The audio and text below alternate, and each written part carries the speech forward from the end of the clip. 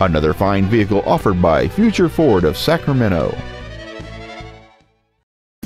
This is a 2010 Hyundai Sonata. It features a 2.4-liter four-cylinder engine and a five-speed automatic transmission. Its top features include heater vents for rear seat passengers, cruise control, heated side view mirrors, commercial-free satellite radio, an illuminated driver's side vanity mirror, a low tire pressure indicator, traction control and stability control systems, an anti-lock braking system, a keyless entry system, and this vehicle has fewer than 19,000 miles on the odometer.